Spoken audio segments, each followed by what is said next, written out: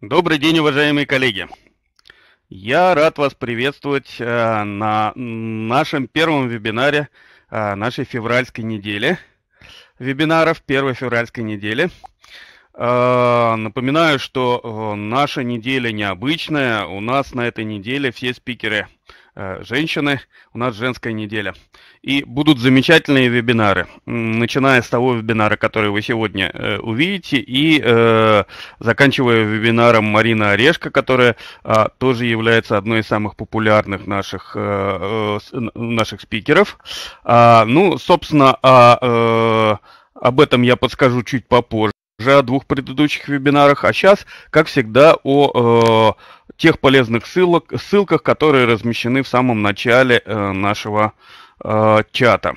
А, первая ссылка ведет на м, расписание наших вебинаров, а, и это расписание я вам предлагаю промониторить более подробно, чем обычно, потому что э, сейчас как раз то время, когда у нас это расписание наполняется немножко новым содержанием.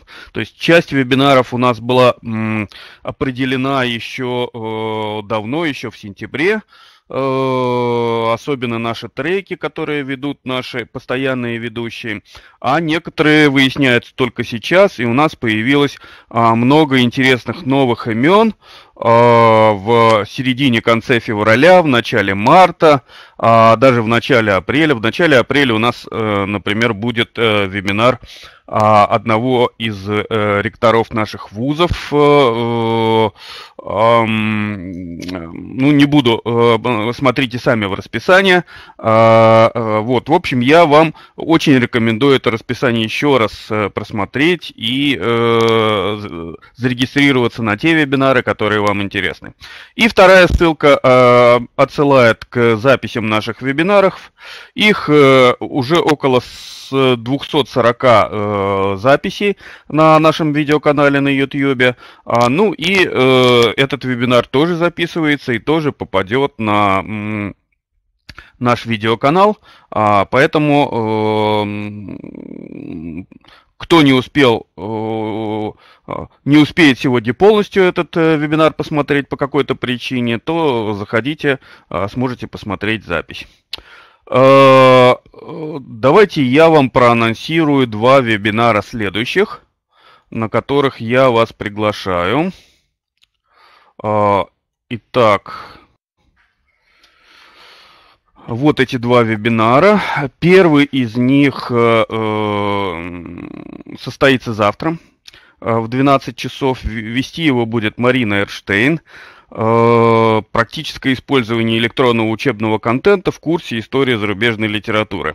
А, ну, наверное, тут не столь интересно э, са, э, то, что это именно курс зарубежной ли, литературы, сколько в том, как м, те инструменты, которые мы здесь изучаем, в том числе здесь изучаем на э, наших вебинарах, могут преобразить вашу Э, учебную программу, ваш, ваши методы, с которыми вы э, обращаетесь к своим студентам и слушателям. А, на мой взгляд, должен быть очень интересный вебинар. Я знаю, что Марина, э, какие элементы контента Мари, э, Марина создала, это очень интересно. Ну и э, я сам с нетерпением жду э, вебинар 8 числа э, Елены Локтевой э, «Дополненная реальность э, в учебных материалах». Э, Елена живет в Минске, это э, э, одно из таких... Э, э, легендарных лиц в э, дистанционном обучении, в электронном обучении, э, э, человек с огромным авторитетом в этой области, э, поэтому я всех вас приглашаю. Да, да и тема э, очень интересная, да, дополненная реальность, э, это то, что вот сейчас вот э, с большим... Э, внедряется то, что мы ждем э, внедрения в обучении и Э, ждем каких-то результатов от этого. Это очень интересная новая э, область, э, и я думаю, что это будет супер интересный вебинар. А, так, для всех, кто у меня задал вопрос по поводу не пришедшего вебинара, зайдите, пожалуйста, во вкладку «Вопросы». Там я ответил, что в этом случае делать, куда смотреть и куда писать в случае, если ничего не получилось и ничего до вас не дошло. А, здесь в третий раз уже повторять не буду, потому что уже два раза э, это все распечатал. А, ну что ж, а теперь я передаю слово э, нашему сегодняшнему спикеру Татьяне Телегиной и попрошу провести сегодняшний вебинар. Татьяна, Спасибо, прошу. Павел Юрьевич. Э, добрый день, уважаемые коллеги. Начинаю, да, как сказали, женскую неделю. Да, вот выпала честь открывать мне. Коллеги, а, давайте э, по традиции начнем с того, что проверим технические вещи, да, наши настройки. А, поставьте плюсики, пожалуйста. Да, уже можно не говорить. Здравствуйте, Галина Борисовна. Да, вот вижу знакомые лица. Вячеслав Александрович, Надежда Клейносова, Наталья Чеклина, Татьяна Геннадьевна. Э, очень рада видеть. Спасибо. Отлично. Значит, коллеги, напоминаю, э, презентацию скачать можно. Э, вверху, кто э, забыл или первый раз сегодня у нас на вебинаре, на вебинаре вообще, значит, наверху в панели инструментов находим папочку. Знак папочки открываем и скачиваем дискетку. Только щелкайте не по ссылке, а по самой дискетке, да, для того, чтобы ее скачать себе. Значит, Виктория Анатольевна, попробуйте э, у себя увеличить громкость. Если очень... Давайте я тоже попробую сейчас. Два человека сказали, что тихо. Попробую немножко увеличить, но слишком сильно делать не буду. Угу. Спасибо. А, ресурсов нет. Какое несчастье. Сейчас будет. Оп. Волшебство, она появилась. Появилась, коллеги? Появилась. Вот. Чудеса техники. Один клик мыши и папочка появилась. Целая папочка с презентацией. А, итак, мы сегодня с вами продолжаем. Отлично. А, мы, э, да, если что-то не получается со скачиванием и, и, и, или не удалось, э, пожалуйста, приходите в нашу группу. У нас на Фейсбуке есть группа. Я могу материалы туда повторить, продублировать, выложить, оттуда тоже можно будет забрать. Ну и какие-то дополнительные вещи я там тоже буду размещать и э, можно будет э, задавать вопросы, если после вебинара они останутся, а когда начинаем работать, обязательно появляются какие-то дополнительные вопросы, их тоже можно и нужно спрашивать там, а, не, не сидеть в ожидании. Да? А, итак, мы продолжаем сегодня с вами нашу тему ВКР – Павел Юрьевич сегодня так разрекламировал очень много интересных, действительно интересных вебинаров, которые предстоят. Но мы так немножечко возвращаемся с небес на землю, да, к нашим выпускным квалификационным работам. А, ну и для оформления курсовых а, эти материалы тоже подходят. И занимаемся немножко таким рутинным делом, оформлением. И сегодня мы поговорим об оформлении ссылок и списка источников. Вот это один из самых, наверное, трудоемких моментов, я имею в виду формальное да, а, оформление работы, не содержательную часть поиска информации и, э, собственно, само написание, а именно такая вот техническая работа, она нудная, она неинтересная, она скучная, а, но занимает очень много времени и сил. И, и у студентов, и потом у научных руководителей по 40 раз говорить одно и то же. Исправьте, сделайте, переделайте. И, как всегда, если это делается в самый последний момент, то это силы, время, нервы, а, что-то слетает, не работает и так далее. И сегодня мы поговорим о тех э, способах, которые могут помочь нам Э, справиться с этими э, трудностями и то, что будет полезно в первую очередь для студентов, ну и научным руководителям для того, чтобы дать правильные рекомендации. А, для библиотекарей э, для преподавателей, которые пишут методические рекомендации по оформлению работ, ну вот какие-то вещи, которые можно включать э, в эти методички уже заранее, я сегодня вам и покажу. Вот сегодня про них и поговорим. Значит, и эм, Сегодня мы разбираемся с оформлением списка источников и ссылок. И здесь нам, как всегда, начиная с прошлого вебинара, мы об этом говорили, поможет стилевое форматирование. Ну, на прошлом э, занятии, хотела сказать, на прошлом вебинаре мы с вами говорили об отличии прямого или ручного форматирования э, и э, стилевого. Да, прямое и ручное – это то, что мы обычно делаем, исправляя элементы прямо в тексте вручную – Стилевой – это настройка стиля, это такой набор форма элементов форматирования, который позволяет нам в один клик мыши делать несколько операций. А, Ольга Викторовна, да, спасибо, Ольга Викторовна пишет, э, на планшете нет возможности что-то скачать. А, маленькое отступление. Сегодня мы э, посмотрим еще и рабочий стол, я вам кое-что покажу на рабочем столе, как оно работает. А, с планшетов, смартфонов а, может быть а, не открываться рабочий стол, тогда ничего страшного, просто слушаем, записи, запись придет, можно будет посмотреть, это у вас останется. И да, такие, возможно, да, возможно, нет что-то скачать, тогда, Ольга Викторовна, просто заходите в нашу группу на Фейсбуке, попросите, я туда выложу и, может быть, даже сегодня после вебинара презентацию еще раз туда повторю. А в конце э, встречи я вам ссылочку дам, поэтому не волнуйтесь, без материалов никого не оставим. И возвращаясь к нашему э, стилевому форматированию.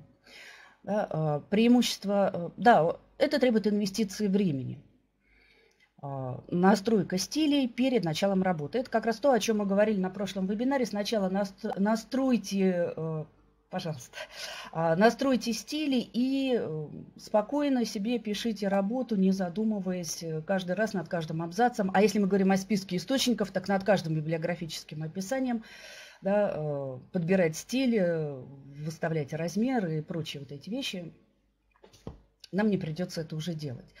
А, соответственно, преимущество мы всеми вот этими благами цивилизации, благами преимуществ стилевого форматирования с вами будем пользоваться. А, во-первых, э, здесь еще одно можно дописать. Это экономия не только времени, но и сил, нервов, и научного руководителя, и дипломника или э, курсанта, пишущего курсовую работу. Да? И мы получаем очень качественное качественное оформление. А, из э, четырех стилей форматирования, о которых мы э, в прошлый раз упоминали и говорили, а, для оформления списков источников и ссылок нам подойдет в основном два. Это форматирование абзацев и списков. Вот то, о чем мы, э, с чем мы имеем дело. Но прежде чем мы перейдем к, и посмотрим, как оно работает и как, а, как его настроить, как настроить эти стили, про оформление списков источников. В разных э, методических рекомендациях разных вузов разная группировка и, соответственно, разная структура может быть у списка источников. Ну, нет у нас пока еще единого государственного стандарта, не знаю, к счастью или не к несчастью, по оформлению курсовых и дипломных работ. Соответственно, и оформление списка источников в части библиографических описаний может отличаться, и части группировки, и структуры. Поэтому э, Здесь э, превалирование законов местных над общими. Смотрим методичку. Это я говорила, говорю и, и, и буду говорить. Если нет методички, если нет каких-то письменных рекомендаций по оформлению э, дипломных работ, э, ну, значит, их нужно разработать. Да? Ну, вот какие-то подсказки я вам даю в наших вебинарах, этим тоже можно пользоваться. Но в первую очередь смотрим на э, наши методички. А, чаще всего используются вот такие виды группировки, и из них э, в студенческих выпускных работах, квалификационных и в курсовых, а, чаще всего используется такой комплекс сочетания а, двух видов группировки, алфавитные по видам изданий. Ну, алфавитная, понятно, в порядке алфавитов, фамилии авторов, если нет, то названий, единый список и все. По видам изданий – очень часто добавляют, это действительно удобно, мы сразу видим, какое количество, не только количество источников, но и качество, что в основном, э, чем, чем пользовался студент. А, электронными ресурсами страницы веб-сайтов или электронные ресурсы статьи из электронных журналов или же научная литература. Да? Ну, разница есть. Или у него там больше половины учебников. А, обычно сборники... Вот, вот, Евгений Юрин, вот то, о чем я э, и говорю. Сначала, сначала в сочетании, сначала идет деление а, по видам изданий, а потом уже внутри а, этой группы идет э, деление по алфавиту. Да, ну, чаще всего принята вот э, такая структура. А будет ли в вашем списке источников отдельно э, выделены разделы с названиями видов источников, да, а потом уже внутри по алфавиту, или не будет, просто делается отступ, или идет просто сплошным текстом, везде по-разному. А, вот у меня студенты, когда писали, мы э, выделяли отдельные разделы, прям шло название, подзаголовок, э, научные, научная литература, и дальше пошел внутри по алфавиту. Потом подзаголовок там э, статьи, да, периодические, из периодических изданий пошла пошел список. Это удобно при защите курсовой или дипломной работы. Комиссия сразу открывает список источников, сразу понятно, да, сколько чего в каком объеме было использовано. А, по структуре чаще всего применяется вот такое расположение материалов. То есть сначала идут законодательные акты, сюда же можно отнести а, законодательные а, нормативная документация, какие-то инструкции, правила, ГОСТы, а, их иногда относят сюда, иногда выделяется отдельный а, блок справочная литература. Кстати, вот справочная литература, ее э, либо куда-то вставляют э, в научную учебную литературу, либо, если э, позволяется, в некоторых вузах, кстати, не позволяется пользоваться справочниками и словарями, в некоторых, наоборот, без этого вообще никак не обойтись. И иногда выделяют, если их скапливается достаточно много, выделяют отдельный вид можно добавить. Это не единственно верный список, это список, который можно э, дополнять и э, трансформировать да, под, под свою специфику направления подготовки и дисциплин. Э, научная литература, здесь все понятно. Книги, монографии, учебные издания тоже, а, э, методички, методические пособия, а, методические рекомендации как вид источников иногда добавляют в учебные издания, тогда записывают да, и третьим пунктом, а, либо либо выделяют отдельным блоком после учебных изданий идет отдельным блоком, а, методические рекомендации. Но опять же, это зависит от э, специфики. Да? Если мы работаем с этим материалом, и у нас в основном а, идет оценка и использование в своей работе методических пособий, то тогда, конечно, их лучше выделить. А, статьи из периодических продолжающихся изданий и сборников, они идут вот в таком э, порядке, чаще всего внутри их указывают. Один из самых больших, наверное, разделов э, в списке источников. Сначала периодические, потом сборники. Иногда просто делают по алфавиту, не разделяя их. Опять же, зависит от количества источников. А, ну и завершает э, этот торжественный список электронные ресурсы, а, чаще всего удаленного доступа, а, локального уже скорее по традиции пишем. Э, ну, флешку никто явно указывать не будет, а дискеты и диски уже редко когда применяются. А по поводу аудиовизуальных материалов, э, очень-очень редкий случай, практически мне, например, не встречалось. Но если вдруг попадется, и если вдруг будет, мы знаем, куда его вставить, что его нужно выделять, э, даже если несколько всего источников, э, лучше всего выделять в отдельный вид. А, так, у нас здесь указывает электронные издания электронной библиотечной системы. Ага. Ага. Ну, это э, электронные ресурсы удаленного доступа. Все, что мы получаем через интернет, если это все, что это не, дис, не дискетки, да, то тогда...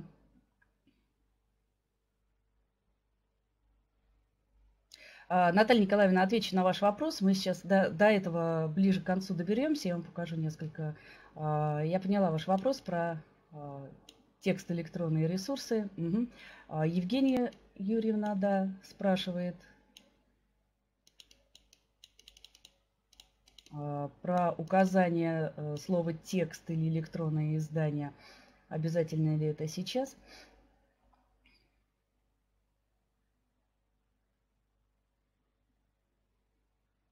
Угу. Значит, сейчас до, до, до этого дойдем, я вам расскажу. Поняла, услышала вопрос.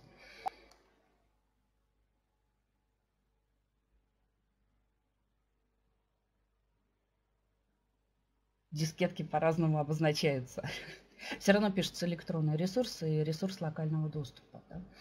Значит, по э, законодательным актам маленькое, э, маленькое дополнение по э, вот этому первому пункту очень часто возникает вопрос, как разделять, в каком порядке указывать эти законодательные акты. Вот вам такую подсказку сюда привожу. А, порядок группировки законодательных актов. Если очень много документов, они разнородные, от федеральных законов до и подзаконных актов до внутренних локальных каких-то нормативных актов, то вот в таком порядке они должны располагаться внутри. Даже если не по алфавиту, а порядок должен быть вот такой, по убыванию. Да? От общего к частному, от общегосударственных законов к законам местного самоуправления и внутренним законам организации, а внутри уже по алфавиту. И по а, оформлению списка источников, как применять.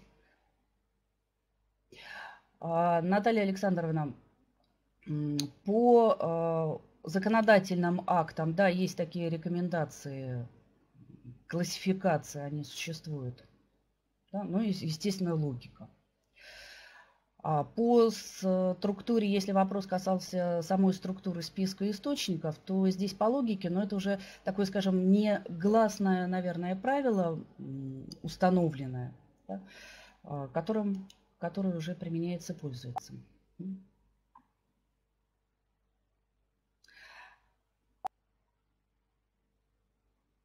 Вот, Лариса Александровна, а, учебники, учебные пособия печатные в одном разделе, а учебники из АБС в другом. А, значит, смотрите, если учебник имеет печатную версию, мы вставляем учебные пособия в раздел учебники, но указываем, указываем его библиографическое описание, пишем в конце режим доступа, да, я вам покажу в конце библиографическое описание а, печатного издания, имеющего электронную версию, или наоборот, электронного издания, имеющего печатную версию. А, поэтому здесь это внутреннее решение, куда вы будете вставлять этот, э, как, поступать с этими источниками. А их достаточно много. А, если имеется печатная версия, мы вот, например, э, делали так. Мы, если имеется печатная версия, то указывали ее в раздел учебники, а в конце просто дописывал, что режим доступа вот такой. То есть вы и печатную версию можете открыть и почитать, и можете осуществить э, доступ к этому учебнику из электронной библиотечной системы. В электронные ресурсы мы записывали исключительно э, ресурсы удаленного доступа, то, что существует в среде интернет. Тогда вот такой порядок, он более всего выстраивается, да, более, более точное представление дает о характере литературы, которой пользовались. Потому что это все-таки носитель. А, монография, она и есть монография, книга, она и есть книга.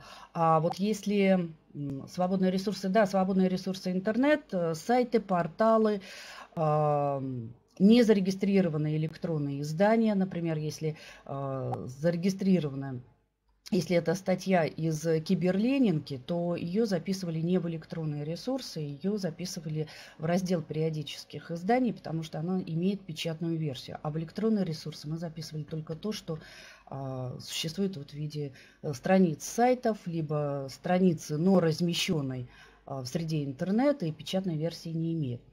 А, то есть это, это решение, внутреннее решение вуза, либо кафедры когда пишем методические рекомендации, вот этот вопрос очень хорошо, что его подняли. На самом деле такой сложный вопрос для студентов в первую очередь, для научных руководителей э, тоже. А куда отнести эти издания? Да, здесь, здесь, э, здесь надо э, принимать общие решения, опять же, в, раз, в разных вузах по-разному. Где-то везде, что имеет э, слово волшебный режим доступа и адресную строку, это все в электронные ресурсы. Но вот здесь, здесь нужно принять принять решение к чему это относится. Ну и потом, смотрите, в наших же рабочих программах дисциплины, когда мы их пишем, указывая учебные пособия, основная литература, дополнительная литература, а потом у нас еще идет интернет-ресурсы, которыми мы пользуемся. Да, мы же пишем а, учебники, которые мы рекомендуем нашим студентам в раздел учебной литературы, основной и дополнительной, да, а не в раздел электронных ресурсов и интернет-источников. Ну, поэтому здесь можно можно, исходя из этой логики, поступать. Да? А, и по оформлению списка источников. Как это можно сделать э, быстро с помощью стилевого форматирования. А, кстати, потом оно нам помогает, когда нужно а, наводить порядок да, в 40-45 источниках, а то и выше. Вот справиться с этой задачей и не э, править каждый источник в отдельности. Вкладка главная. Сложного здесь э, единственное, что только настройка стиля, наверное. Вкладка главная. В колоночке стилей выбираем нужный стиль, выделяем нужный фрагмент и настраиваем. Значит, как это работает на практике? Сейчас я вам покажу. Открою трансляцию рабочего стола, появится файлик. Пожалуйста, как только появится, поставьте, пожалуйста, плечик в чат, что видим рабочий стол. Ладно? Так, вот. У нас пошел файлик. Сейчас я загляну. Ага, отлично. Спасибо. Значит, вот наша дипломная работа. Да, мы занимаемся ее. Наводим порядок. И здесь у нас вот обычный стиль стоит, в котором мы набираем текст. Э, здесь же заголовки, из которых мы потом формируем да, автособираемое содержание. И вот наш список источников с которым нам нужно поработать. Мы хотим его привести в нормальный вид. Если у нас стиль уже настроен, то э, проблем у нас вообще не возникает. Да? Мы выбираем нужные источники. Если вообще весь список вспоминаем, волшебная клавиша, ставим э, курсор в начало, уходим в конец нашего списка, но уходим. Вот так где у нас здесь стоит курсор? Вот он снялся. А, уходим, скроль, скроллим до конца. И вот я делаю ошибку, я не нажимаю клавишу Shift.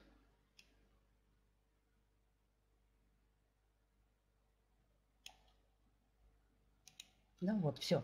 А, с нажатой клавишей Shift ставим второй э, раз курсор. И вот наш весь список, он выделен одним фрагментом.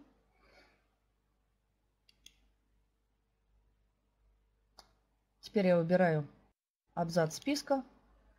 И все. Вот. У меня весь мой список, он выстроен, отформатирован именно так, как должен.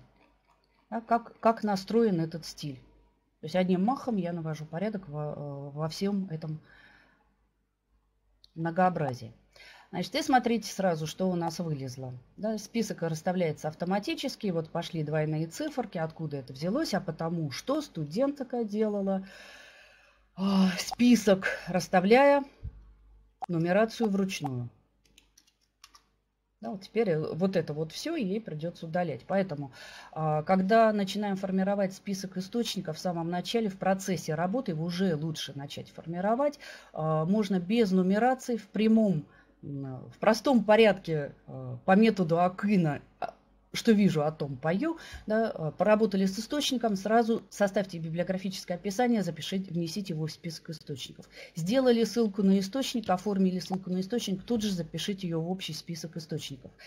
А, тогда вы не потеряете ссылки, тогда вы точно будете... Э, студенты у меня очень часто идут от ссылок, на что ссылаюсь, э, указываю источник заимствования прямого или косвенного, тут же его вставляю в список источников Тогда, тогда у нас э, в список не попадают те книги, на которые нет ссылок э, в самом тексте работы. И тогда мы сокращаем себе еще одну лишние действия убираем, а, перепроверить, а на все ли источники из списка есть ссылки в тексте работ. Если идти от, от ссылок, а, такого уже не возникает. Да? То есть лишние действия мы уже убираем. Значит, и можно записывать даже не по алфавиту, не мучиться с этим, потом через группировку, а, вот, да, группировкой выделяем также весь текст и расставляем а, в порядке алфавита, он уже сам автоматически все эти наши источники расставит. Если у нас идет разделение по видам изданий внутри по алфавиту, ну тогда придется внутри по каждого вида издания вот такую нехитрую операцию сделать. Но все-таки три клика мыши это не а, блуждание по тексту. Так, у нас здесь были вопросы. Ага, двойные номера, вот я вам уже сказала, откуда они берутся. А, если задать список задать э, скрытой таблицей, а зачем? Ну, попробуйте, не знаю. А, не, не, не знаю зачем, но, но, но, наверное, можно.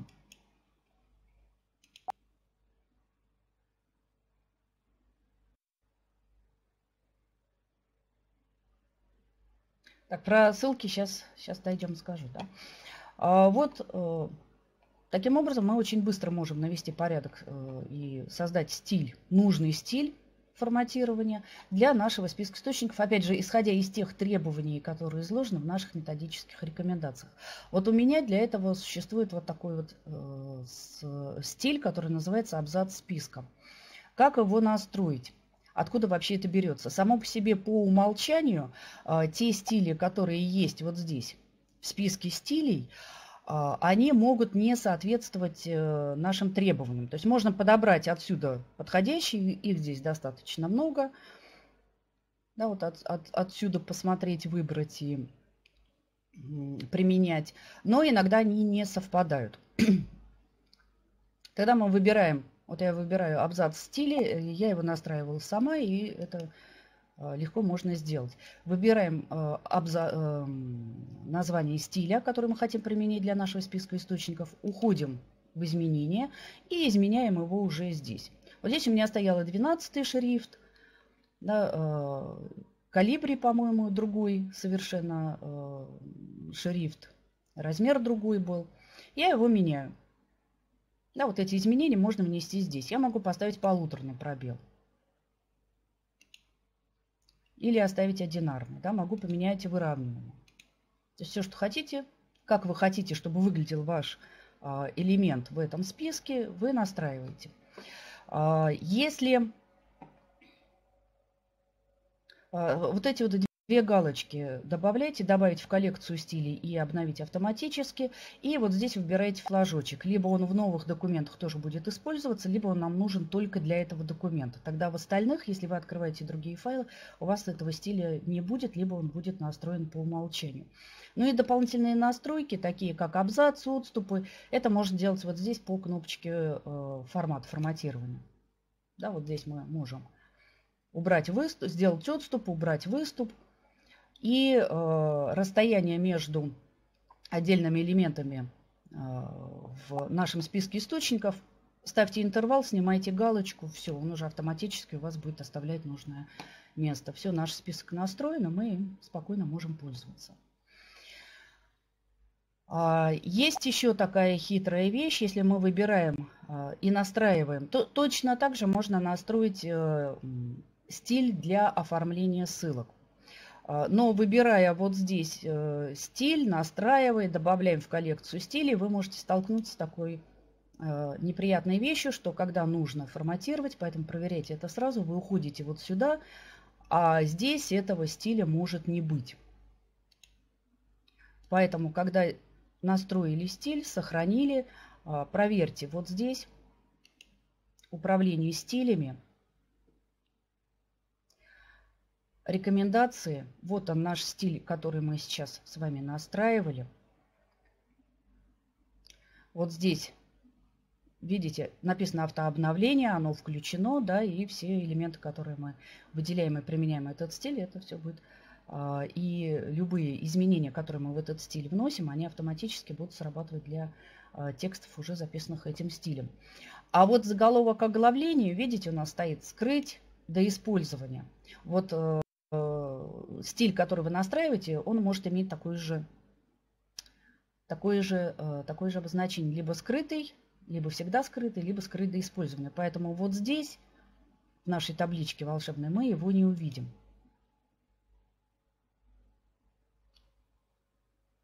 Ставим здесь «Разрешить». Уходим сюда. В рекомендациях, вот видите, три кнопочки. Нажимаем «Показать». Скрыто исчезает, и он добавляется в нашу коллекцию. Все, теперь он будет видимый, и мы будем иметь к нему доступ. Это делается через управление стилями. Поэтому, если вы здесь настроили здесь, но не видите здесь, проверьте управление стилями и сделайте его видимым.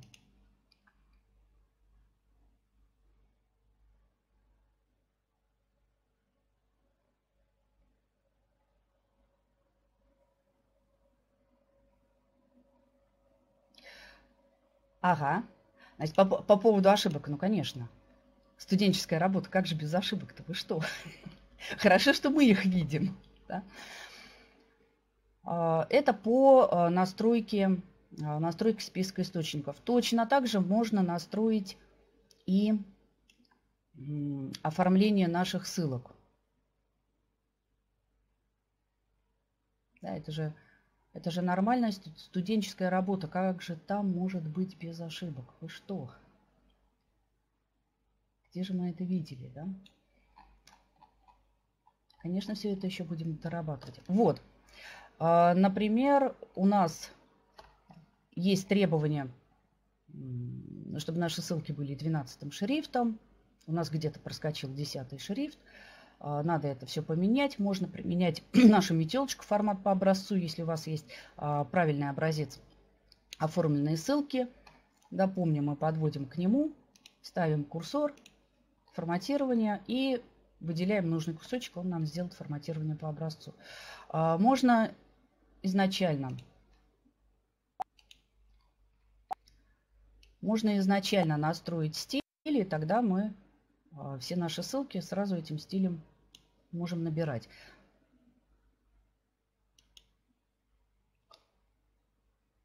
Так, где он? Так, вот он, текст сносок.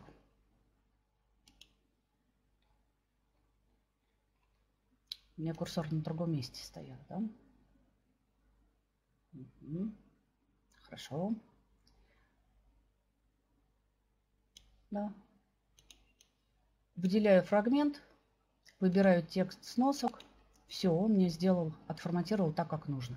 Текст сносок также настраивается по требованиям через э, стили. Точно таким же образом. А, но два раза по нему щелкать не надо. Проверяйте, если вы сомневаетесь, тем ли э, стилем набрана ссылка. Значит, просто подведите, поставьте курсор, посмотрите, если квадратик сгорает, все, мы ее не трогаем. Если вы второй раз нажмете, еще раз повторно примените этот стиль, а, вот эти наши значки сносок могут измениться. Поэтому два раза одну и ту же работу не делаем. Да, вот здесь попробуем.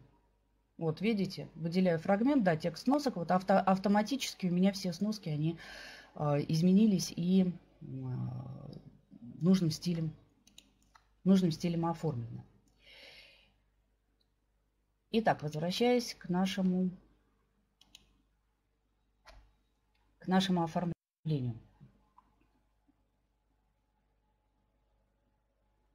Значит, по библиографическому а, описанию, да, мы, а, Оксана Геннадьевна, совершенно верно, мы сейчас говорим о редактировании а, списка и а, ссылок, оформления и редактирования, форматирования, да, более технические вещи. А, по структуре списка мы с вами уже прошлись, посмотрели. О правильном библиографическом описании у нас э, будут отдельные вебинары по библиографическим описаниям, э, составлению библиографических описаний э, в списках источников и оформлении ссылок. Поэтому к ним мы более подробно вернемся там. Я специально от этого ушла, чтобы мы немножко отошли от библиографических описаний. Значит, а, по вопросам сейчас пройдемся. Да, и не забывайте, пожалуйста, в наш, при нашем оформлении проверять, э, чтобы были убраны гиперссылки на электронные источники. Очень часто это проскакивает в ссылках и в списке источников. Иногда студенты делают хитрую вещь, они просто убирают подчеркивание и меняют цвет шрифта, но гиперссылка все равно остается, поэтому правой, правой клавишей мыши обязательно убираем, убираем этот элемент. Ох ты, батюшки.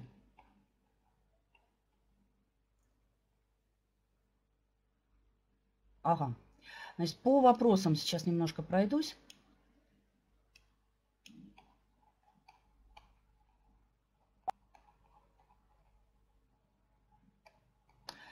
В тексте, Ильмир Мансурович, в тексте по тексту 5 страницы детализованные списки сейчас применяются, это верно.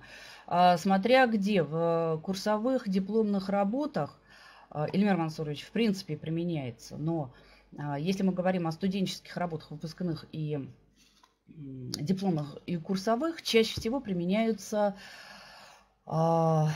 подстрочные ссылки да, то есть и, и идут подстрочные ссылки. Внутритекстовые и затекстовые, как правило, не применяются.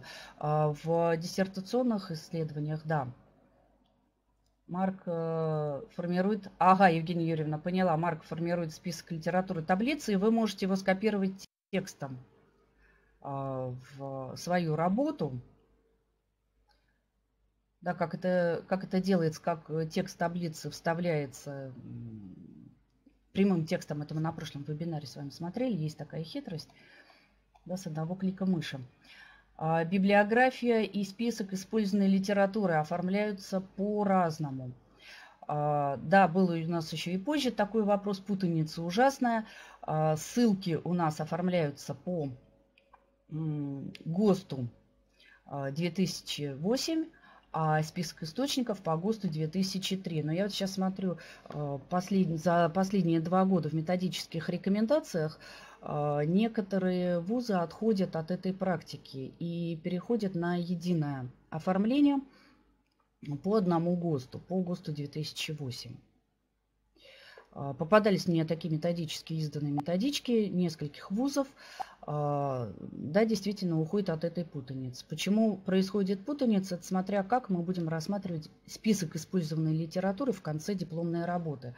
Если, э, ведь посмотрите, в, когда мы сдаем статьи в издание, да, там тоже идет требование оформления списка источников, и в основном по ГОСТу 2008, либо другому стилю оформления ссылок, который используется в данном издании. А, или мы рассматриваем список источников как такую прикнижную пристатейную библиографию, но чаще всего она рассматривается как э, отдельный элемент научного вспомогательного аппарата работы, и поэтому используется ГОС 2008. Ну вот э, по правилам, да, 2008, 2008 э, для ссылок сносок и 2003 идет для списка источников. Но вот некоторые вузы сейчас, э, я видел, переходят на единое как бы, оформление и там, и там, чтобы вот эту путаницу избежать. Э, да, Наталья Александровна совершенно права. Для списка используется 2003. Угу. Оксана Геннадьевна.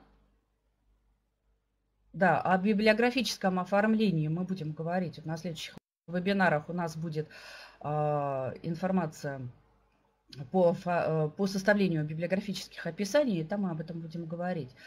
А для полного библиографического списка, да, Наталья Николаевна, это мы уже сейчас с вами об этом говорили. А, подстрочные ссылки отличаются от списка. Наталья Александровна, а вот это то, то, э, что еще требует доработки в дипломной работе. Спасибо, что заметили. Должны отличать. Да, должны отличаться. А, есть нюансы точки, двоеточие, пробелы, слыши для студентов не столь актуально. А, ну, для студентов это тоже актуально. Да, а, для аспирантов, да.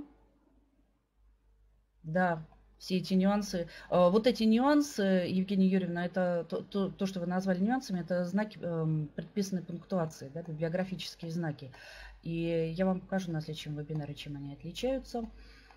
Да, что это такое, зачем это нужно. Евгения Юрьевна, а, можно ли таблицы, нельзя ли в таблице. Главное, знаете, чтобы это не выходило за рамки инструкций, требований к оформлению изложенных методических рекомендациях. Да? Если, если все нормально, так делайте так, как вам удобнее.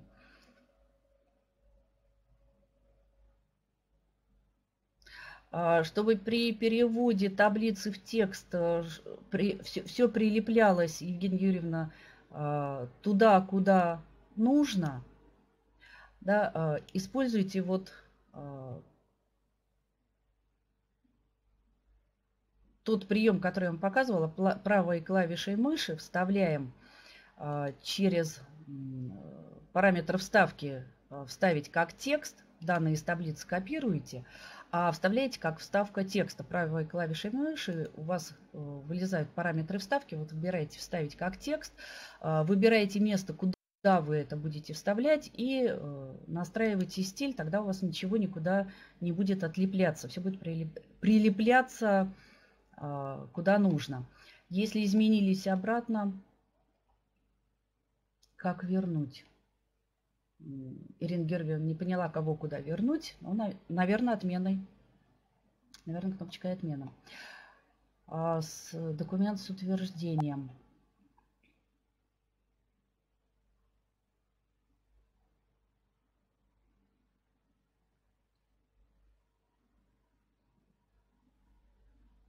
А, Наталья Анатольевна, хороший э, вопрос про утверждение. Утверждение вносится в библиографическое описание. А, если у вас есть еще какие-то данные по этому документу исходные, а пришлите их нам, пожалуйста. Я прям вот возьму это как пример.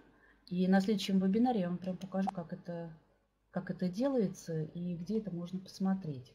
Да? Так как утвержденные, э, утверждены протоколом. Да, еще количество страниц, да, утверждения, когда были изданы, если были изданы.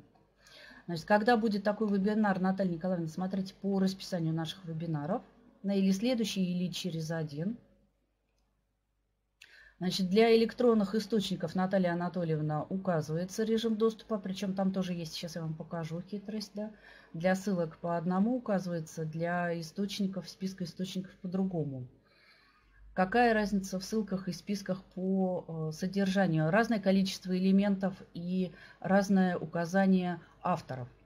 Э, в списке источников мы сокращаем, а в ссылках нет. И в ссылках мы можем указывать, если у нас идет 2-3 автора, они указываются в авторстве. А вот в ссылках, э, в списке источников только один первый по фамилии первого автора, остальное уходит в сведения о об, ответ, об ответственности. Да?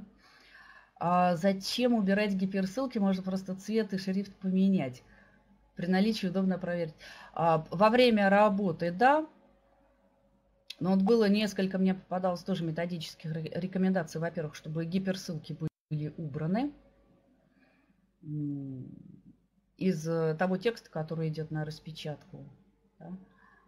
А, поэтому выбирать, да кандидатских диссертациях детализированные списки. Это надо посмотреть, Эльмир Мансурович. Ну, как, э, смотря, смотря на что вы ссылаете, смотря какой,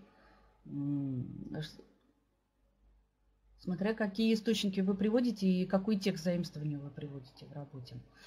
Используются зарубежные источники, там же другое. Да, про оформление зарубежных источников э, на следующем вебинаре. Вот как раз и будем говорить о, уже о содержательной части. Сегодня мы больше про форматирование. Вот там я вам тоже это покажу. Да, там используется немного другое оформление. В списке источников э, источники на иностранных языках идут после русскоязычных. Если изменилось после двойного клика, а, Ирина Георгиевна, конечно, можно. А, кнопочка отмены волшебная. И возвращаемся обратно. Зачем нужны спис ссылки, если они равны списку? А, значит, э, что эм, если по оформлению, то они отличаются. Да?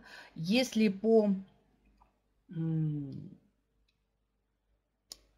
вопрос все ли источники, которые включены в список, должны быть процитированы в тексте работы. Наталья Александровна, есть такое требование. Хотя бы один раз, хотя бы одна ссылка на тот источник, который вы приводите в списке, должна быть. На один и тот же источник вы в, э, в, в тексте своей работы можете ссылаться неоднократно. Да, мы, но в списке источников он будет, естественно, один, поэтому э, вот есть, да, есть такое требование. Обязательно должны быть хотя бы один раз протестированы. Э, я прочитал 158 э, книг, из них только на 5 даю ссылки в тексте своей работы, а остальное, ну я же это прочитал, ну хорошо прочитал, ну детективы ты тоже прочитал, Шопенгауэра прочитал, но в текст же своей работы ты его не включаешь. Где, вот зачем ты это все читал? А где оно в твоей работе? Если это породило какие-то твои мысли, э, новые э, выводы, какие-то новые положения, так и замечательно, пожалуйста, но ты в тексте работы своей все равно это укажи, это будет как косвенное заимствование. Поставь ссылки, а какие работы, каких авторов породили у тебя такие мысли, а на основании чего ты сделал такой вывод. Да? У нас же есть прямое цитирование, есть э, косвенное. Вот я прочитал книгу Шопенгауэра, и вот там такая-то мысль породила вот э, у меня такую цепочку рассуждений и привело вот к такому выводу. И вот на это прочитал вот такую книгу Шопенгауэра, мы все равно ставим ссылку, сноску и, и вставляем его в список источников. Тогда, да, тогда, вот, тогда имеет место быть. А если этого нет, а в списке источников эта книга есть, но она никак в тексте, с текстом не связана, то это, это считается как ошибка. Да? Да, и хоть 10 раз упоминай в тексте. Есть такое, ну, правило есть правило. А есть э, еще один список, иногда делают исследовательская база. Это когда сами источники являются, являются базой, объектом или предметом нашего исследования. Например, мы проводим исследование а, там, различий в общении, там, например, э, в сетевом общении среди молодежных субкультур на примерах социальных сетей или на примерах каких-то анализ каких-то сайтов. Вот тогда вот эти сайты, статьи, а, материал, страницы с этих сайтов, они приводятся а, не в список использованных источников литературы, они а, а если они являются объектом или предметом исследования, они выводятся в отдельный список, и вот туда их уже можно включать. Если не связано с текстом, источник не указывают. Но ну, подстрочная ссылка дается на какое-то упоминание э, данного источника в тексте. Тогда мы выводим в подстрочную ссылку э, и включаем в список источников. Если вообще никак, то, то, то никак не связано. Тогда нет, тогда не включается. А, так, если ссылаюсь на научные статьи в Аковском журнале, ну хорошо, тогда оформляем их как э, статьи из периодических журналов. Да. Список источников э, включается один раз.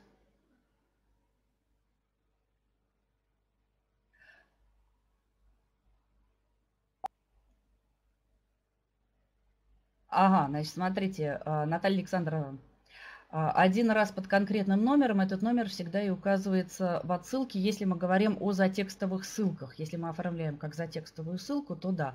Если мы оформляем, а в студии это для диссертационных скорее работ, для студенческих э, дипломных и курсовых мы используем подстрочную ссылку, и там они идут в порядке, да, в общем порядке по всему документу.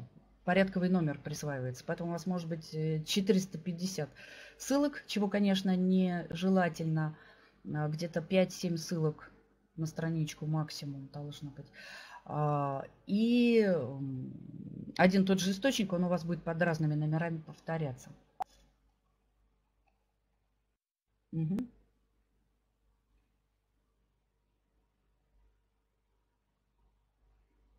Детализированные ссылки это не для студентов, э, для скорее для аспирантов. Использовать подстрочные ссылки. А, Как же? Показать, какие места мы заимствовали для того, чтобы потом на, э, при проверке на антиплагиат можно было выявить. Да? А, значит, по э, списку источников, еще один момент, который у нас висит уже тут на слайде, мы немножко ушли в такую дискуссию из чата, да, ну, хорошо пообщались. А, значит, есть э, такая вещь, которая пробует пользоваться автоматически формирование списка источников. А, пользоваться им не стоит.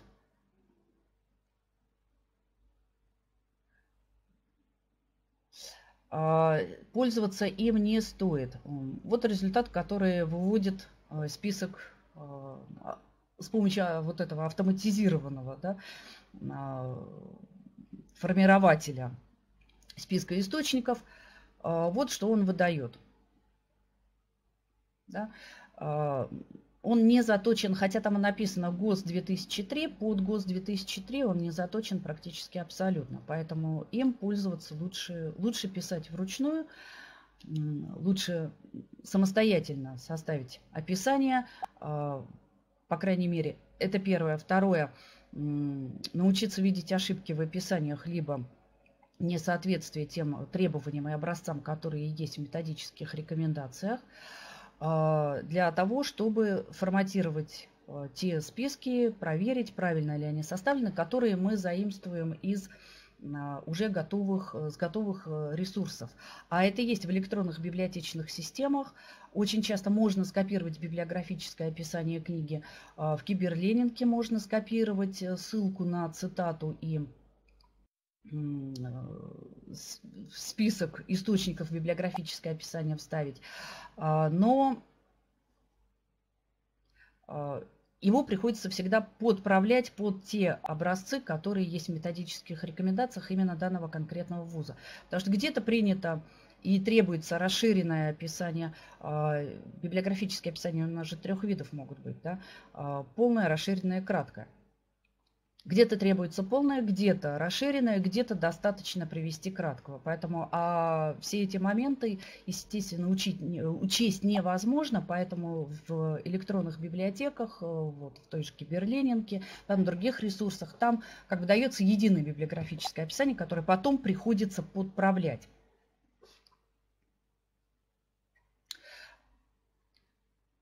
Второго курса всю литературу по заданной теме, тогда приводит список литературы и осваивает... Да, да, и тогда совершенно верно. Приходится осваивать ГОСТ 2003, да, хотя бы основы основ, на что обращать внимание, а, понимать, почему здесь стоит пробел или не стоит пробел. Вообще ГОСТов э, и да, на втором курсе, и у нас на втором курсе, начиная с первого курса уже студентам э, даем основу библиографического описания, потому что без этого просто никуда.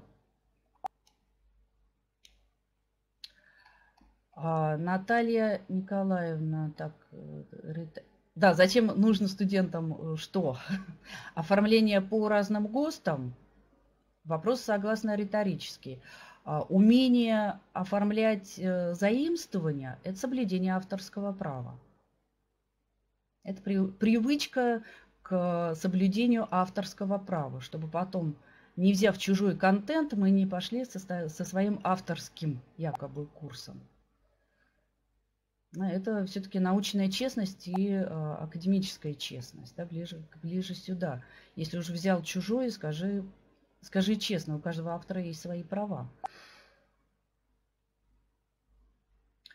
А ГОСТов действительно много, есть 2003-2008, которым чаще всего пользуются. 2011 а, для рефератов и есть отдельный э, ГОС 2001 для описания электронных ресурсов, на мой взгляд, абсолютно безнадежно устаревший, потому что больше половины тех ресурсов электронных, с которыми мы сталкиваемся, в этом ГОСТе просто, просто нет, просто отсутствует. А, можно соблюдать и списком. Хм. Хм. Я прочитал, но вот этот кусочек мой, да. А, нет, все-таки, все-таки, Наталья Александровна, ссылками обязательно ссылки даем. В текстах работ, именно в текстах. Да? Значит, по... А вот э, нужно ли в одной работе использовать два ГОСТа, список по 2003, а ссылки по 2008, это вопрос, это уже, я уже сказала, многие вузы переходят на то, чтобы использовать какой-то один ГОСТ. Кто-то берет 2003, но ссылки по нему не оформляются. А вот по 2008 очень даже вполне. Тем более, что в издательствах так и делают, куда мы сами же свои статьи издаем. Там чаще всего используется только один какой-то ГОСТ. Либо, если это зарубежные издания, Эм, какой-то один стиль оформления, да, либо гарвардский, либо EPA, но, как правило, только одно, одно требование. Есть отсылка на... Да, но вот отсылка-то есть, отсылка-то есть. Опять же, если вы в ВУЗе примете э, решение оформлять э, ссылки отсылкой да, за те, выводом за текстовую ссылку с указанием на список источников, конечно, это будет сохранением авторского права. Неважно, в каком виде стоит ссылка, внутри текстовая, затекстовая, подстрочная. Если это есть, и если указывается на фрагмент заимствования, то, конечно, это соблюдается. Так, э, существует разнообразие. Вот. И по... Промахиваюсь мимо чата почему-то мышкой, да. А, мы все равно... Николай Васильевич, да. А, да, пока есть разнообразие, нам приходится их их, их исследовать, да, их, э, с ними знакомиться, их применять. Значит, по э, самый больной вопрос – это электронные ресурсы. Ася Львовна, актуально, пока, не, пока изменений не было. А, может ли отсылка не... Наталья Николаевна, значит, э, может ли отсылка отсылать не к ссылке, а сразу к полному библиографическому описанию? Вот то, что приводится в квадратных скобочках – поняла, на следующем вебинаре подробно остановимся на видах ссылок. Это и есть затекстовая ссылка, там, где указывается номер по порядку в списке источников, иногда указывают название, да, а, номера страниц или страница, с которой взята эта ссылка, все это заключается в квадратные скобочки, то, что вы называете отсылкой, да, это идет как затекстовая ссылка, от, и она считается как ссылка. То есть да, дополнительно еще какую-то ссылку вводить в текст не нужно оно уже и есть. А вот с электронными ресурсами э, очень э, большая беда на самом деле. С описаниями электронных ресурсов, с ними мы чаще всего сталкиваемся, наши студенты. А вот э, примеров даже в ГОСТах, вот я специально пересмотрела все ГОСТы, которые э, есть с 2001 по 2011, вот сколько примеров нашлось. Да, в 2003 только один пример описания CD-диска и то локального доступа. А, и больше всего было а, около 20 мне попалось э, в ГОСТ 2008 оформление ссылок. А, и в 2001 э, сетевых было всего два. И при этом у нас э, количество а, веб-страниц, материалов заимствованных сайтов, с порталов, с веб-страниц увеличивается с каждым годом, даже да, с каждым месяцем а, бешеными темпами. Да? И как это все описать? Вот здесь э, тоже самое главное не выходить за рамки ГОСТа, соблюдать указанные правила – правила предписанной пунктуации, а вот количество элементов э, в разных вузах, опять же, может быть использовано по-разному, потому что ГОСТ, он хоть и закон, но э, все-таки носит рекомендательный характер. Поэтому э, вот был тоже вопрос должно ли соответствовать полностью ГОСТу. Если ВУЗ принимает решение, что мы будем указывать в списке, приводить э, краткое библиографическое описание, то мы будем приводить краткое библиографическое описание. Мы будем э, удалять все лишние элементы. Даже в отношении основных элементов библиографического описания иногда ВУЗы опускают и например.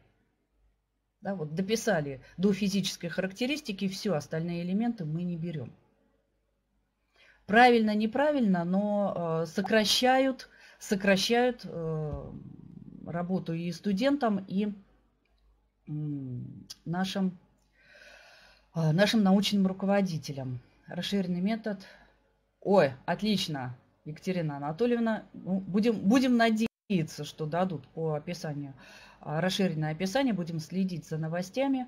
И как только, как только дадут, это будет э, чудесно. А пока мы э, стараемся составлять описание электронных ресурсов, включать их в образцы а, своих методических рекомендаций. И лучше всего это делать, э, делать для наших студентов потому что здесь просто беда. Ну, например, вот несколько примеров, которые мы э, на основании ГОСТа попробовали сформулировать и применяем для наших студентов максимально просто и максимально просто. А, описание под заглавием без автора. Да, название страницы.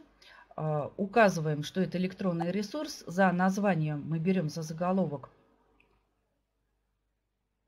а, название самой страницы сайта или портала. Вот то, что указывается в квадратных скобочках, электронные ресурсы, это тип, э, тип, тип источника. Нужно ли писать, был у нас вопрос выше, текст, э, не текст. Для э, списка есть такое правило, если у вас основная масса это печатные издания, тогда мы не пишем убираем. Но, но, но для электронных ресурсов оставляем, потому что их меньшинство. Если у вас в списке источников наоборот, большинство электронных ресурсов, а минимум печатных изданий, тогда наоборот, электронный ресурс не пишем, а текст э, дописываем. Для диссертаций, да, если другой есть, э, вот это другой и пишем. А для диссертаций э,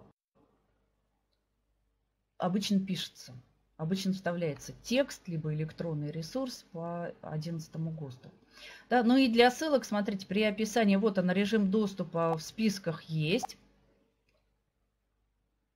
А, да, Наталья Александровна, если есть э, ноты, аудиоматериалы, карты, а, видео, да, э, кинофото, документы. Если хоть один из э, других типов носителей проскакивает в нашем общем массиве книг, монографий, статей печатных, то мы вот так же, как электронный ресурс, да, вот сюда записываем ноты, карты. Они должны показывать, что это совершенно другой тип источника. А, запятая после фамилии автора обязательно или нет? Оксана Валерьевна, в принципе обязательно – Э, в некоторых вузах ее опускают. Хотя по правилам описания по ГОСТу, что в ссылках, что в 2003 в библиографических описаниях запятую ставить после фамилии автора надо отделять. А, по статье. Иногда с портала или сайта мы берем какую-то статью. Если она идет без э, автора, мы ее записываем вот так же. Да, если есть автор, то его вставляем. А, но э, вот здесь мы указываем портал, откуда это взято. Да. А, статья с сайта, э, со страницы портала или сайта немножко отличается от статьи в электронном издании, особенно если это электронное издание еще имеет э, печатную версию. Да. Значит, смотрите, они похожи. Да, Наталья Александровна может быть отделена, поэтому, но лучше ставить, лучше ставить запятую. А, хотя некоторые вузы для студенческих работ упрощают, убирают эту запятую, но лучше ее отделять. А, разница за двойным слэшем. Да, здесь мы указываем название портала или сайта. Здесь мы указываем а, данные на само издание, электронное издание да, за двойным слэшем. Не портал или сайт, а сам источник. Первый источник этой статьи. На видеолекции, если уж используем, хотя не рекомендуется использовать ролики с YouTube, э, записи видеолекции, нежелательно, вот как-то это не, не принимается, особенно для диссертационных исследований, ну, источник должен быть источником э, научной информации, да, достоверным источником, научным источником. Поэтому ролики YouTube очень не приветствуются, просят удалять, но иногда бывает в студенческих работах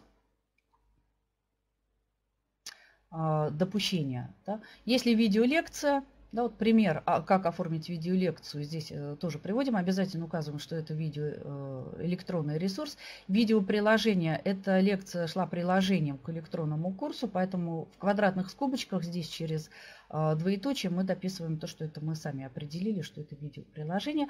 А дальше пошли вот краткое описание, да, автор, режим доступа и дата обращения, которую когда мы обращались к этому ресурсу. Дату обращения лучше писать, она э, показывает, если мы сегодня зашли, а там написано, что сайт уже три года как не работает, а у нас стоит дата обращения, э, как будто бы вчера мы смотрели этот источник, да, но вопрос, вопрос уже к э, честности того человека, который этот источник вставлял, и якобы вчера его смотрел, хотя он три года не работает.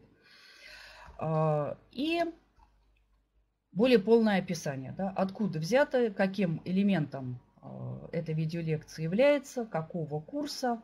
Да, вот два варианта, которые можно использовать для видеолекции.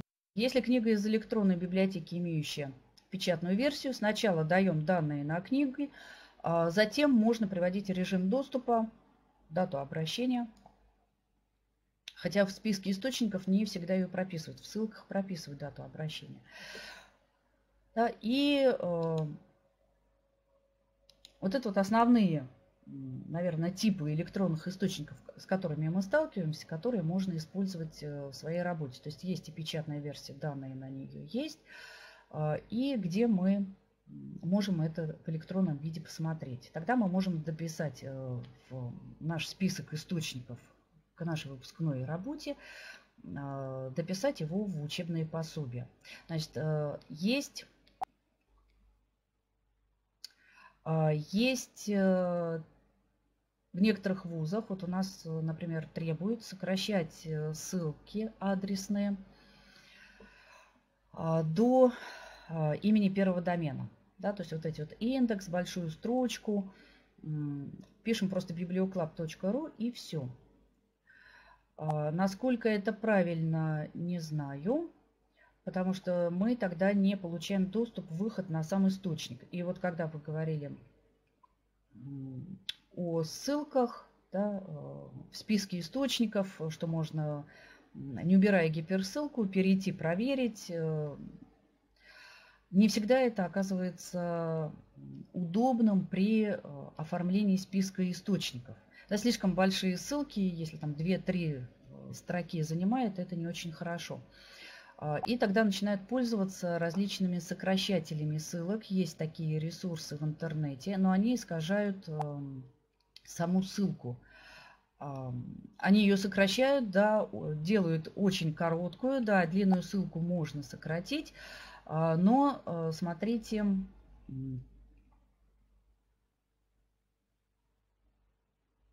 а, смотрите на вот какой момент.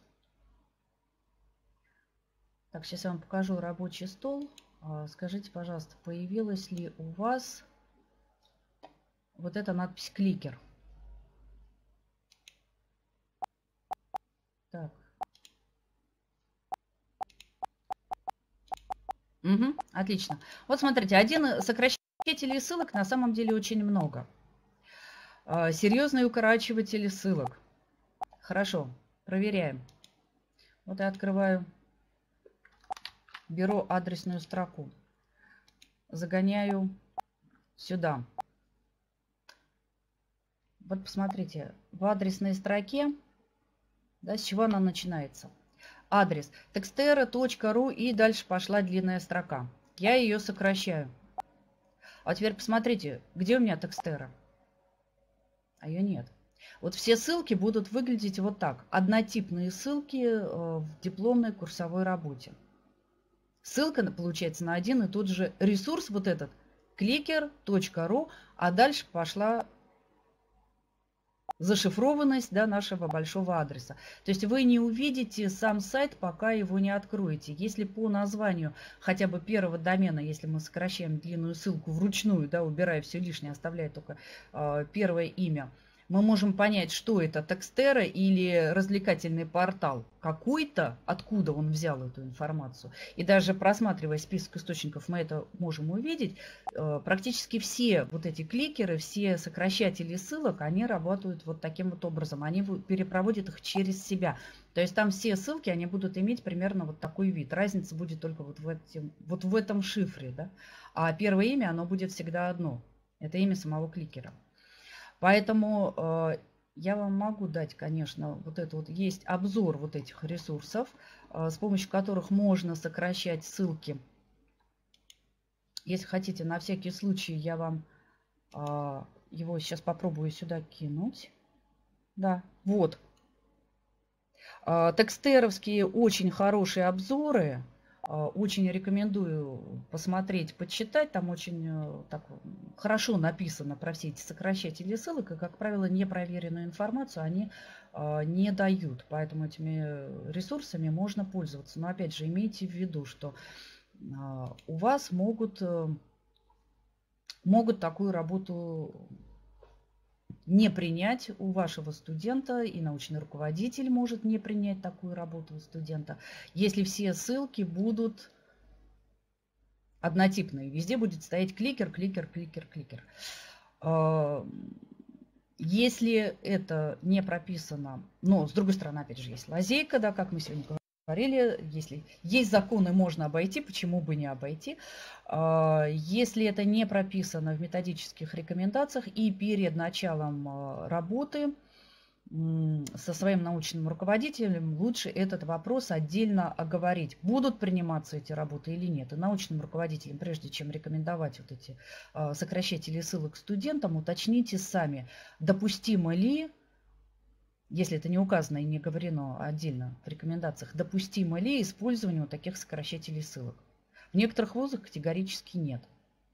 Где-то даже не э, три строчки, значит три строчки приводи. Мне важно открыть, посмотреть сразу, каким ресурсом ты пользовался. Это действительно бывает очень э, важно и нужно. Поэтому с сокращением э, ссылок очень осторожно применять можно, но, опять же, должно, должны быть договоренности, установленные с самого начала.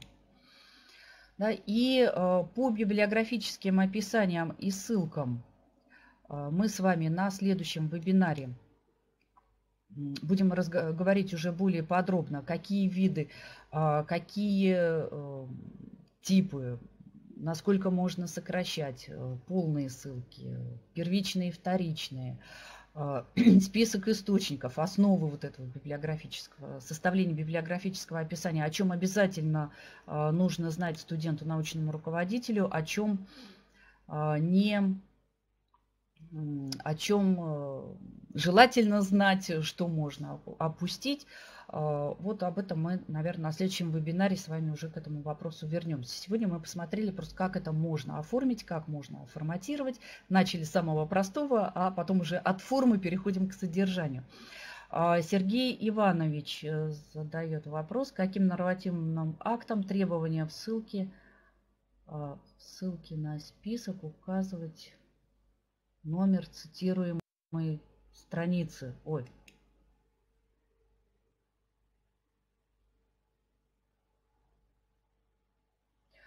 ну, номер цитируемой страницы, а, это вообще-то вообще-то у нас идет по ГОСТу. Да, по ГОСТу. Это все там. А с, э, если, если мы берем, если... Так, что у нас все? 2008. Ссылки сноски, Сергей Иванович, это 2008 и 2003 это для списка источников.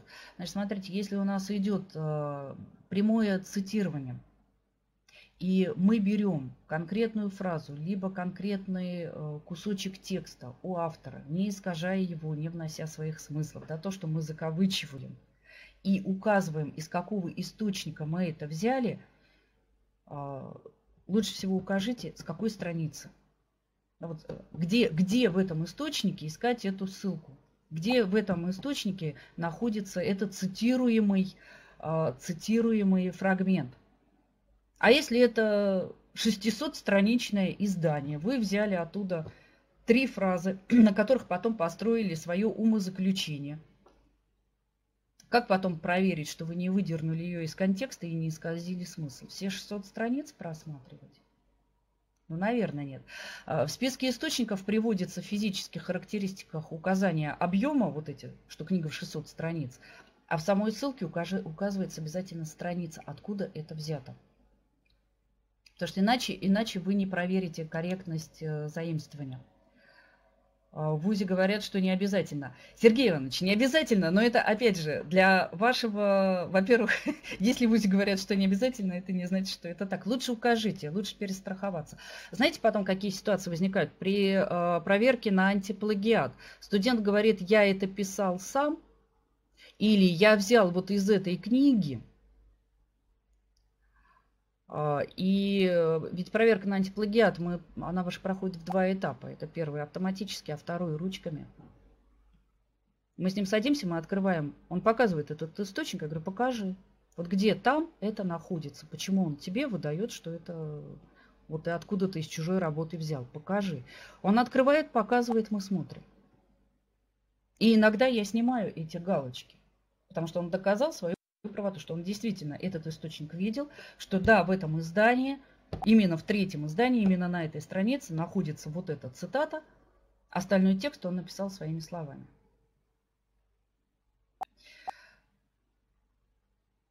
А, ничего, Сергей Иванович, такова наша доля, всех журят. Льва Ландау, знаете, как журили за то, что он, как он проводил свои экзамены. Еще как журили да, но он сказал, я не отступлюсь. А, по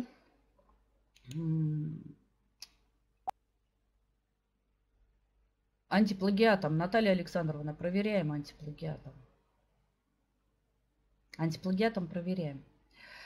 А, э, в обязательном порядке. А сейчас это, кстати, проверка дипломных курсовых работ – она, э, есть три, общие требования, это же включено про э, данные антиплагиата, процент оригинальности текста в отзыве научного руководителя, когда он пишет свою работу, да, либо справка представляется по данным проверки антиплагиата, либо процент указывает научный руководитель. Мы еще и распечатки делали, и скриншоты всей вот этой таблички я всегда делаю для своих студентов, чтобы чтобы это было. А, Наталья Александровна, антиплагиат – это условное название сервисов, может быть несколько, которые… Если, антипл... если вы имеете в виду антиплагиат.ру, да, а, это одно, это сервис, да, а антиплагиат – это общее название сервисов, которые помогают нам выявить заимствование, некорректные заимствования.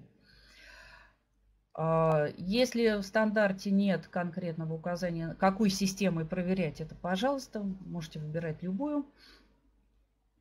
Да, совершенно верно, Наталья Александровна, есть не просто антиплагиат.ру, есть и другие системы. Значит, а, список э, можете туда тоже грузить. Хороший вопрос, спасибо, Наталья Александровна. Прям сегодня это так сделали наш день вопросами. Значит, смотрите, коллеги, когда грузите в антиплагиат, вот такая история. Не грузите, пожалуйста, туда титульные листы, содержание, список источников и приложения. Ну, если у вас нет, конечно, сомнений по поводу приложений, что они откуда-то целиком или, или кусками не составлены по методу рекле, да, режь-клей. Сейчас говорят копипаст там. Только текст. Потому что список источников, э, одну и ту же книгу 44 студента ссылаются, потому что преподаватель ее рекомендует, и он вам это покажет.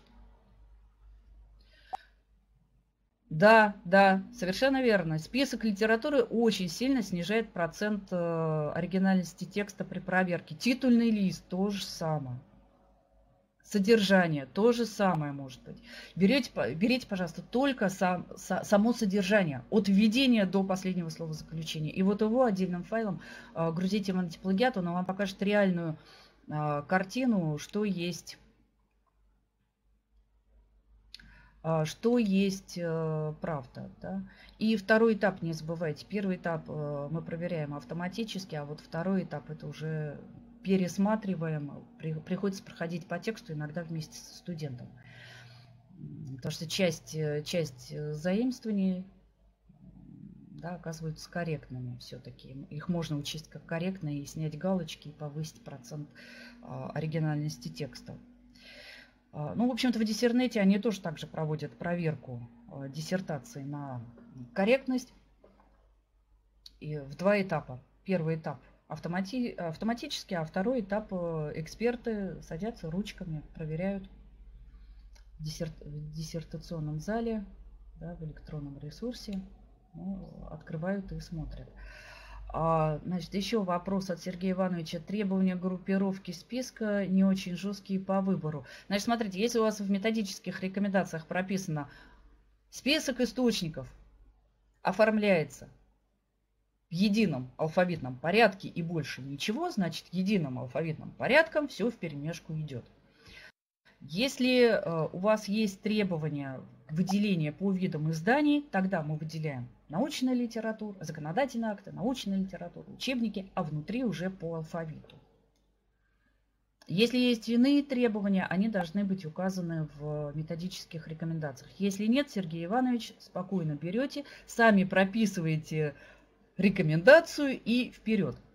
А, рекомендации ГОСТа нет, Сергей Иванович. ГОСТа нет, а в этом случае мы опираемся на рекомендации вуза, потому что заворачивать за неправильное оформление работу вашу или ваших студентов будут э, сотрудники деканата, будет вуз, будет факультет. Поэтому здесь на, от рекомендаций не отходим. Но с другой, с, друг, с другой стороны, мы же эти рекомендации пишем, значит, мы можем внести в них изменения.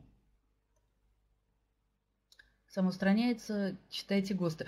Ну, Наталья Николаевна, конечно, конечно. Читайте источники, и будет вам счастье. А, в этом случае на основании ГОСТов можно прописать, и некоторые кафедры так и делают, прописывают свои рекомендации по оформлению, когда происходит вот такое самоустранение, нет единых э, регламентов и каких-то э, стандартов единых для всего вуза, тогда кафедра сама может прописать эти рекомендации, да, но основываясь на ГОСТах. Как говорится, все, что не выходит за рамки инструкций – все, что не выходит за рамки ГОСТов, мы можем применять. А, значит, коллеги, по а, библиографическим описаниям для списков источников и для оформления ссылок мы с вами на следующем, следующий или через вебинар, по-моему, следующий вебинар, а, на нем мы с вами разовьем нашу тему, а если есть, э, уже перейдем к содержательной части, да, что есть библиографическое описание, чем оно отличается от ссылок и какие ссылки где применяются. А, коллеги, сегодняшний вебинар мы, наверное, уже будем завершать. Мы, да, уже наши законы полтора часа подходят к концу. А, присоединяюсь к Ирине Георгиевне, Наталья Александровна. За вопросы спасибо. А, если есть какие-то вопросы, а, хотелось бы узнать, уточнить к следующему вебинару. Коллеги, пожалуйста, присылайте вопросы. Сейчас я вам дам ссылочку на нашу группу, да, так чтобы нам не а, по ходу дела это очень хорошо. Так вот, ссылочка на группу в Фейсбуке. А, вы можете прям так и... Э, давайте я там тогда пост сделаю, вопросы к вебинару. И все вопросы, которые возникают по библиографическому описанию, по составлению, по оформлению, то, что вам хотелось бы на следующем вебинаре э, услышать и рассмотреть, напишите, пожалуйста, туда, в комментарии. Потому что и мне тогда будет легче выстроить э, логику вебинара, отталкиваясь от ваших вопросов, и я буду понимать, что именно вот, вот это вам интересно, и это как бы задаст направление. А, для следующей встречи участники вебинара Ильмир Мансурович э, придет, обязательно рассылки приходят, проверяйте папку спам, э, и вот во вкладочке «Вопросы» А, в самом верху Павел Юрьевич специально оставил такую пометочку для а, всех, кому нужен сертификат, у кого есть вопросы по а, сертификатам.